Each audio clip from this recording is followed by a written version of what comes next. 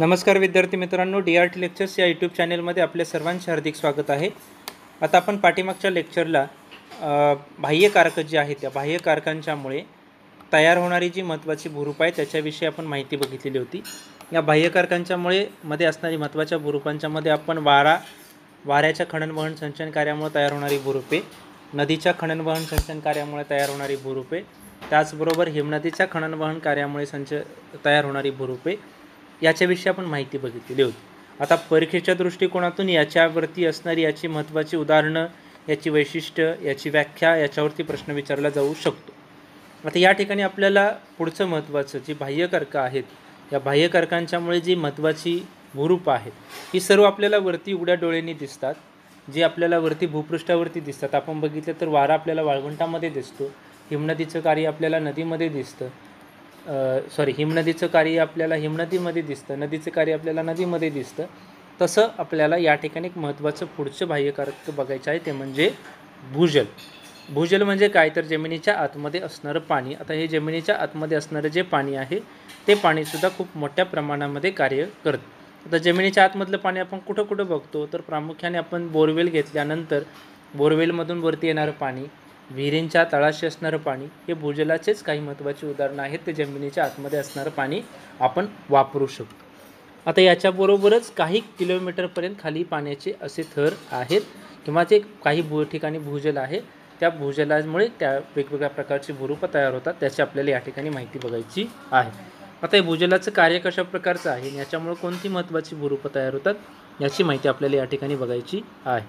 आता भूजलाचं जर आपण कार्य बघितलं तर जमिनीत ज्यावेळेला पाणी मुरतं त्यावेळेला ते अछिद्र खडकापर्यंत जाऊन ते समांतर दिशेला वाहत जातं.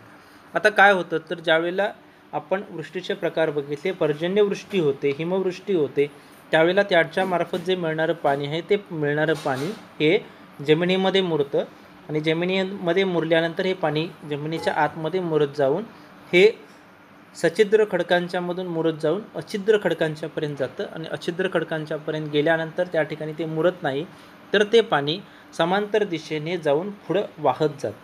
आता अछिद्र खडकांच्यामधून गेल्यानंतर त्या ठिकाणी ते पाण्याला मुर मुरायला जागा नसते त्यामुळे ते पाणी त्या ठिकाणी साचतं. साचून राहिलेलं पाणी हे एका ठिकाणाहून दुसऱ्या ठिकाणी हे उत्तराच्या दिशेने वाहू लागतं. त्यामुळे जमिनीच्या अंतर्गत भागामध्ये असे पाण्याचे स्रोत तयार होतात. त्यामुळे त्या ठिकाणी जमिनीच्या अंतर्गत भागामध्ये चुनखडीसारखे जे खडक आहे ते चुनखडीसारखे खडक या आतील भागामध्ये जे वाहणारं पाणी आहे समांतर दिशेमध्ये जे वाहणारं पाणी आहे समांतर दिशेमध्ये वाहणारं पाण्यामध्ये त्या ठिकाणी हे चुनखडीसारखे खडक आहेत ते त्याच्यामध्ये विरघळतात. आणि हे विरघळल्यामुळे त्या ठिकाणी एका वेगळ्या प्रकारच्या भूरूपांची निर्मिती होते ती आपल्याला या ठिकाणी बघायची आहे.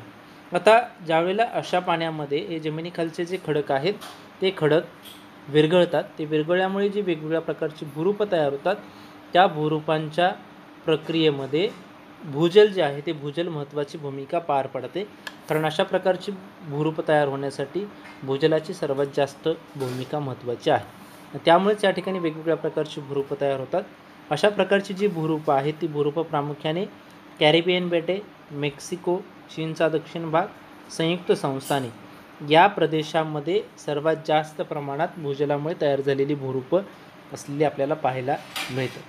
याच्याचबरोबर जशी बाहेरच्या काही देशांच्यामध्ये आहेत खंडांच्यामध्ये आहेत तशी आपल्या भारतामध्ये सुद्धा अशा प्रकारची भूरूपं आहेत. याच्यामध्ये भारतातील आपल्या ईशान्येकडील राज्यांच्यामधील मेघालय आंध्र प्रदेश याच्यामधील बोरा त्याचबरोबर महाराष्ट्रातील कानूर पठार मध्य प्रदेशातील छत्तीसगड या ठिकाणी या भूजलामुळे तयार होणारी महत्त्वाची भूरूपं असलेली आपल्याला पाहायला मिळतात. आता या ठिकाणी आपल्याला भूजलाचं जे कार्य आहे त्या भूजलाच्या कार्यामुळे जी महत्त्वाची भूरूपं तयार होतात त्याची या ठिकाणी माहिती बघायची आहे. आता हे जे भूजल आहे ते भूजलाचं कार्य विकसित होण्यासाठी महत्त्वाच्या तीन प्रक्रिया ज्या आहेत त्या तीन प्रक्रिया महत्त्वाच्या असतात आणि त्या ठिकाणी हो झाल्याशिवाय या ठिकाणी हे कार्य प्रभावीपणे होत नाही. याच्यातील सर्वात महत्त्वाचे पहिलं कार्य म्हणजे कार्बन डायऑक्साईड वायू त्यानंतर भूजलाची क्रियाशील हालचाल आणि खडकांच्यामध्ये असणारे जोड.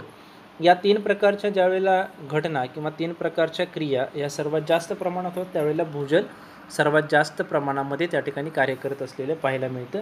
आता कार्बन डायऑक्साईड वायू जर आपण पाहिला तर कार्बन डायऑक्साईड वायू याचा आणि भूजलाचा जवळचा संबंध आहे. त्याच्यामुळे त्या ठिकाणी अंतर्गत भागामध्ये भूजलं निर्माण होतात किंवा भूरूप निर्माण होतात.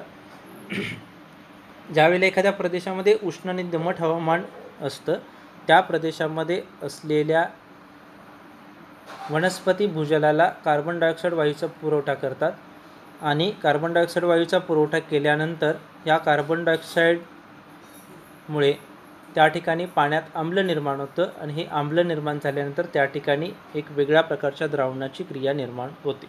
आता ज्यावेळेला उष्ण दमट हवामानाच्या प्रदेशामध्ये ज्या वनस्पती आहेत त्या वनस्पती या भूजलाला या ठिकाणी कार्बन डायऑक्साईड वायूचा पुरवठा करतात. आणि हे कार्बन डायऑक्साईड वायूचा पुरवठा केल्यामुळे त्या ठिकाणी आम्ल निर्माण होतं आणि आम्लामुळे द्रावणाची क्रिया होते. द्राव द्रावणाची क्रिया तयार झाल्यामुळे त्या ठिकाणी एक वेगळ्या प्रकारची भूरूपं तयार होतात. आता या ठिकाणी दुसरं महत्त्वाचं कारण आहे त्याचबरोबर भूजलाची क्रियाशील हालचाल. आता विद्राव्य कार्बन डायऑक्साईड वायू जो आहे तो वायू सोबत संपृक्त झालेली पाण्याची हालचाल ही सहज होणे. खडक जेवढा सच्छिद्र तेवढी पाण्याची गती जास्त प्रमाणात असते. आता त्या ठिकाणी जर आपण पाहिलं तर विद्राव्य कार्बन डायऑक्साईड वायू सोबत संपृक्त झालेली जी पाण्याची हालचाल आहे ती पाण्याची हालचाल सहज गतीने होते. म्हणजे कार्बन डायऑक्साईड वायूबरोबर संपृक्त झालेलं जे पाणी आहे ते पाणी उत्तराच्या दिशेने सरकत जातं आणि ते त्या ठिकाणी तेवढ्याच प्रमाणामध्ये सच्छिद्र खडकांच्यामध्ये जास्त प्रमाणात मोडतं त्याचबरोबर खडकांच्यामध्ये असणारा जोड जर दोन वेगवेगळ्या प्रकारचे खडक एकत्र आले तर एकत्र आल्यामुळे त्या ठिकाणी पाणी मुरण्यासाठीही जास्त त्या ठिकाणी फायदेशीर किंवा जास्त चांगल्या प्रकारची क्रिया निर्माण होते. त्यामुळे खडकांच्यामध्ये असणारा जोड हा सुद्धा भूजलाचं जे कार्य आहे ते भूजलाचं कार्य विकसित होण्यासाठी महत्त्वाचा घटक आहे. म्हणजे भूजलाचं कार्य विकसित होण्यासाठी महत्त्वाचे असलेले तीन घटक कार्बन डायऑक्साईड वायू भूजलाची क्रियाशील हालचाल त्याचबरोबर खडकांच्यामध्ये असणारे जोड ही महत्त्वाची तीन कार्य असलेली आपल्याला पाहायला मिळते. आता आपल्याला भूजलामुळे तयार होणारी जी अपक्षरण आणि संचयन कार्यामुळे तयार होणारी महत्त्वाची भूरूप आहेत त्या भूरूपांची माहिती बघायची आहे. आता याच्यामध्ये महत्त्वाची भूरूप आहेत याच्यातील पहिलं महत्त्वाचं भूरूप आहे ते म्हणजे विलयविवर. त्याचबरोबर पुढचं महत्त्वाचं भूरूप आहे ते म्हणजे गुहा. त्यानंतरचं महत्त्वाचं भूरूप आहे ते म्हणजे स्तंभ. या स्तंभामध्ये अधोमुखी स्तंभ ऊर्ध्वमुखी स्तंभ हे महत्त्वाचे प्रकार त्या ठिकाणी आपल्याला भूरूपांचे बघायचे आहे. आता ज्या खडकांच्यामध्ये भेगा किंवा जोड आहेत अशा खडकांच्यामध्ये मुरलेलं पाणी भूपृष्ठाच्या पृष्ठभागाच्या अधिक भूपृष्ठाच्या खाली अधिक प्रमाणामध्ये केंद्रित होत आता या ठिकाणी ज्यावेळेला भूजलामुळे निर्माण होणं ज्यावेळेला ही भूरूपं निर्माण होतात भूजलामुळे भूरूपं निर्माण होतात त्यावेळेला खडकांच्यामध्ये जर जोड असेल तर अशा खडकांच्यामधील जोडांमधून जे पाणी आहे ते पाणी पृष्ठभागाच्या खाली अधिक प्रमाणामध्ये केंद्रित होतं. आणि अधिक प्रमाणात केंद्रित झाल्यामुळे त्या ठिकाणी त्या ब- पृ त्या भागामध्ये वेगवेगळ्या प्रकारची भूरूपं तयार होतात. आता या भूजलामुळे निर्माण होणारी भूरूपं जी आहे ती भूरूपं पृष्ठीच्या पृथ्वीच्या पृष्ठभागाच्या खाली तयार होतात. तर याच्यातील पहिलं भूरूप आहे ते म्हणजे विलय विवर आता ज्या प्रदेशामध्ये जिप्सम आणि चुनखडीसारखे खडक पाण्यात विरघळतात. आता आपण जर बघितलं तर खडक म्हणजे काय? तर खडक म्हणजे खनिजांचं मिश्रण. आता प्रत्येक खडकामध्ये वेगवेगळ्या प्रकारची खनिजे असतात. ते खनिजांचे मिश्रण म्हणजेच खडक. आता ज्या प्रदेशामध्ये जिप्सम आणि चुनखडीसारखे खडक आहेत असे खडक ज्या वेळेला पाण्यामध्ये विरघळतात त्यावेळेला त्या ठिकाणी भूजल सर्वात जास्त प्रमाणात कार्यरत होतं. आता या ठिकाणी असे पदार्थ पाण्यामध्ये विरघळल्यामुळं काय होतं? तर अशा प्रदेशात आम्लजलामध्ये खडक विरघळून जातात. आता जे आम्लजल आहे ते आम्लजल काय होतं? तर वनस्पती पाण्याला कार्बन डायऑक्साईड वायूचा पुरवठा करतात. कार्बन डायऑक्साईड वायूचा पुरवठा केल्यामुळे त्याचं त्या जलाचं भूजलाचं आम्लजलामध्ये रूपांतर होतं. आणि जिप्सम आणि चुनखडीसारखे जे खडक आहेत ते या अशा प्रकारच्या आम्लजलामध्ये विरघळून जातात. आता ही जी क्रिया आहे ती क्रिया एक दोन दिवस चालत नाही तर ही क्रिया सतत चालणारी प्रक्रिया आहे. आणि ही सतत होणाऱ्या क्रियेमुळे त्या ठिकाणी एक वर्तुळाकार खळगा तयार होतो किंवा वर्तुळाकार एक खड्डा तयार होतो. त्यालाच आपण विलय विवर असं म्हणतो. आता विलय विवर या ठिकाणी त्या आकृतीत दाखवल्याप्रमाणे हा एक भूपृष्ठाचा खडकाचा भाग आहे. या ठिकाणी काय होतं तर अंतर्गत भागामध्ये असणारे जे आम्ल जल आहे ते आम्ल जलामध्ये जिप्सम आणि चुनखडीसारखे खडक वितळतात विरघळतात आणि विरघळल्यामुळे त्या ठिकाणी खळगा तयार होतो. आणि या खडकामुळे त्या ठिकाणी एक मोठं विवर किंवा खड्डा तयार होतो.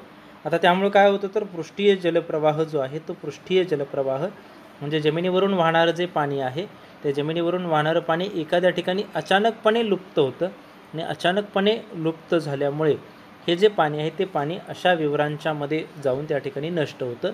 हे सर्वात महत्त्वाचं या विवरांचं उदाहरण किंवा वैशिष्ट्य असलेलं आपल्याला पाहायला मिळतं. आता आपल्याकडे सुद्धा अशा बऱ्याच नद्या आहेत की ज्या दुरून वाहत येतात परंतु एखाद्या ठिकाणी अचानकपणे लुप्त होतात. तर त्या लुप्त होतात म्हणजे काय होतात? तर त्या ठिकाणी जमिनीच्या आतमध्ये अशा प्रकारची विलयविवरं तयार होतात आणि विलयविवरांच्या मधून हे पाणी आतमध्ये जाऊन ते भूजलामध्ये समाविष्ट होत असतं. म्हणून या ठिकाणी हे भूजलामुळे तयार होणारं पहिलं महत्त्वाचं भूरूप आहे ते म्हणजे विलय विवर. त्यानंतरचं पुढचं महत्त्वाचं भूरूप आहे ते म्हणजे गुहा. आता आपण बघितलं असेल तुम्ही ऐकले असेल की प्राचीन काळामध्ये अनेक साधू ऋषी मुनी हे गुहेमध्ये तपश्चर्या करायचे. आता या गुहा कशा तयार होत होत्या? कोण तयार हो करत होतं का? तर या प्रकारच्या गुहा तयार होत असताना या ठिकाणी एक महत्त्वाची भौगोलिक भूजलाची क्रिया होत होती आणि ह्याच्यामुळेच या ठिकाणी या भू भूगर्भामध्ये या गुहा तयार होत होती. आता काय होत होतं? तर काही प्रदेशांमध्ये खडक भूजलामध्ये विरघळल्यामुळे त्याच्यामध्ये प्रवास मार्गाची एक जाळी तयार होत होती. आता काय होत होतं? तर भूजलामध्ये असणारे जे महत्त्वाचे पदार्थ आहेत ते भूजलामध्ये असणारे खडक किंवा वेगवेगळी खनिजे या भूजलामध्ये विरघळल्यामुळे त्या ठिकाणी एक प्रवास मार्गाची एक विशिष्ट अशी जाळी तयार होत होती. आणि ही जी जाळी आहे त्या जाळीमध्ये एक वेगळ्या प्रकारचे खडक आहे ते खडक त्या ठिकाणी विरघळत होते. काही वेळा झिरपणारे पाणी हे अछिद्र आणि एकसंग खडकांच्यामुळे अडलं जातं.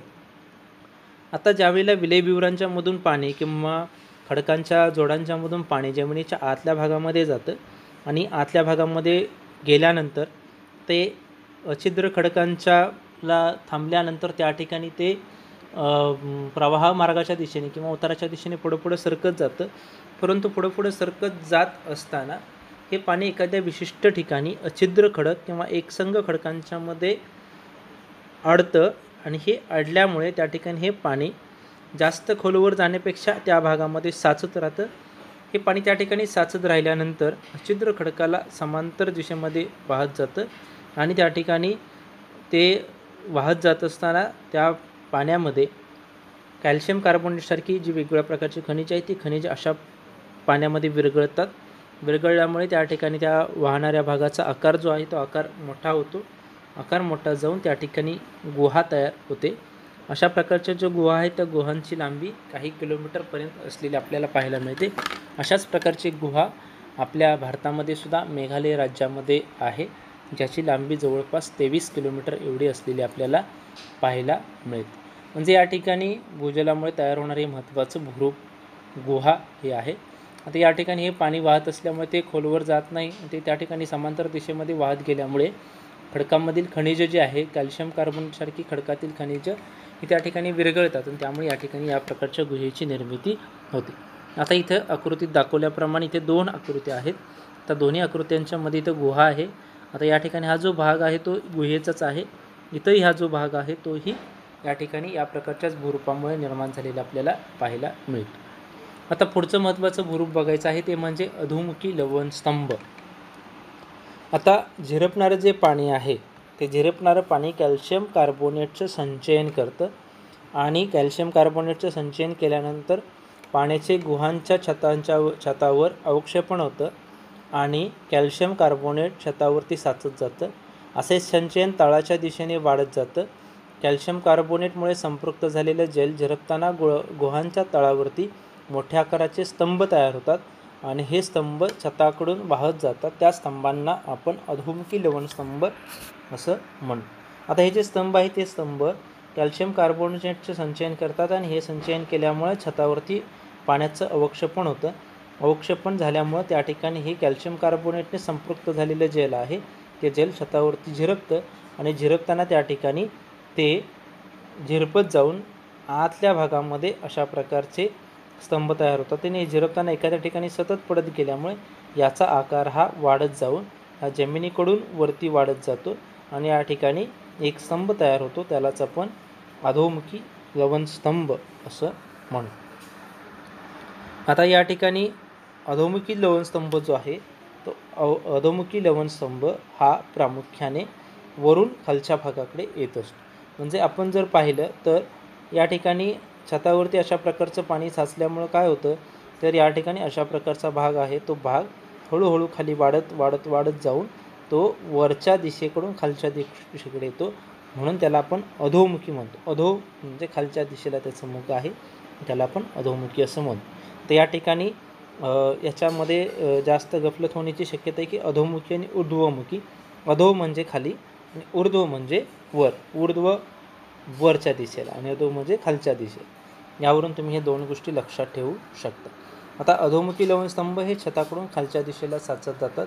म्हणूनच त्याला आपण अधोमुखी लवणस्तंभ असं म्हणतो आता पुढचं महत्त्वाचं भूरूप बघायचं आहे ते म्हणजे ऊर्ध्वमुखी लवणस्तंभ आता सेम जशी प्रोसेस अधोमुखी लवणस्तंभाला होते तशीच ऊर्ध्वमुखी लवणस्तंभाला होते. अधोमुखी लवणस्तंभाला छताकडून खाली पाणी झिरपत जातं. तर ऊर्ध्वमुखी लवणस्तंभाला प्रामुख्याने जे वरती झिरपलेलं पाणी आहे ते वरती झिरपलेलं पाणी हे वरून खाली पडत असतं. खाली पडत गेल्यामुळं त्या ठिकाणी खालून हे लव ऊर्ध्वमुखी लवणस्तंभ तयार होत असतात आता हे ऊर्ध्वमुखी लवणस्तंभ तयार होत असताना हे जमिनीकडून छताकडच्या दिशेला वाढत जातात. म्हणून त्यांना आपण ऊर्ध्वमुखी लवणस्तंभ असं म्हणतो. आता या ठिकाणी जर आपण पाहिलं तर दुसरा महत्त्वाचा लवणस्तंभाचा आपल्याला प्रकार बघायचा आहे. ते म्हणजे लवणस्तंभ म्हणजे पूर्ण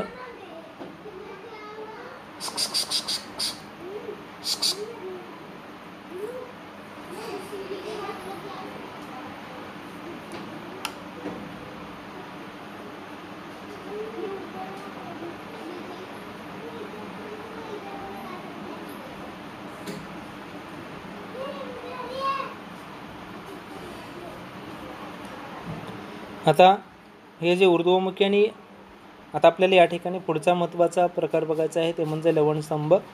ऊर्ध्वमुखी लवणस्तंभ आणि अधोमुखी लवणस्तंभ वाढत जाऊन एकमेकांना मिळतात. त्यालाच आपण लवणस्तंभ असं म्हणतो. आता या ठिकाणी जर आपण पाहिलं तर या ठिकाणी आपल्याला ऊर्ध्वमुखी आणि आपल्याला पुढचं महत्त्वाचं भूरूप बघायचं आहे ते म्हणजे लवणस्तंभ. आता अर्ध आपण ऊर्ध्वमुखी लवणस्तंभ बघितला अधोमुखी बघितला. अधोमुखी म्हणजे वरच्या दिशेकडून खालच्या दिशेकडे वाढत जाणारा ऊर्ध्वमुखी म्हणजे खालून वरती वाढत जाणारा. आता हे दोन्ही लवणस्तंभ ज्यावेळेला एकमेकांच्या दिशेकडे वाढत जाऊन एकमेकांना मिळतात त्यावेळेला जे भुरूप तयार होतं त्यालाच आपण लवणस्तंभ असं म्हणतो. लवणस्तंभ हा गुहेमध्ये लावलेल्या एखाद्या खांबासारखा दिसतो म्हणूनच त्याला आपण स्तंभ म्हणतो. इथे या ठिकाणी आकृतीत दाखवल्याप्रमाणे हा अधोमुखी लवणस्तंभ दिलेला आहे हा ऊर्ध्वमुखी दिलेला आहे. हे दोन्ही ज्यावेळेला वाढत जाऊन एकमेकांना मिळतात त्यावेळेला अशा प्रकारचं भुरूप तयार होतं. तो गुहेमध्ये लावलेला एका मोठ्या खांबासारखा दिसतो. म्हणूनच त्याला आपण या ठिकाणी स्तंभ असं म्हणतो. ही अशा प्रकारची महत्त्वाची भूरूप आहे. आता या ठिकाणी आपण वेगवेगळ्या कारखान्यांच्यामुळे तयार होणारी भूरूप आपण बघत आहोत.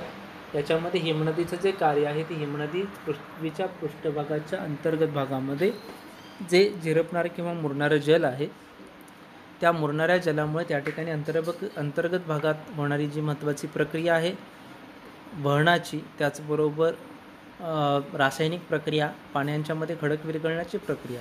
याच्यामुळे ही महत्त्वाची भूरूपं तयार होतात. या भूरूपांच्याविषयी आपण माहिती बघितलेली आहे.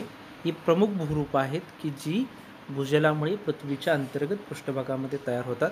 तर याच्या बाबतीमध्ये तुम्हाला जर आणखी काही माहिती हवी असेल तर तुम्ही कमेंट बॉक्समध्ये विचारू शकता. त्याचबरोबर हा व्हिडिओ आवडल्यास लाईक करा शेअर करा. त्याचबरोबर जास्तीत जास्त सबस्क्राईब करा. थँक्यू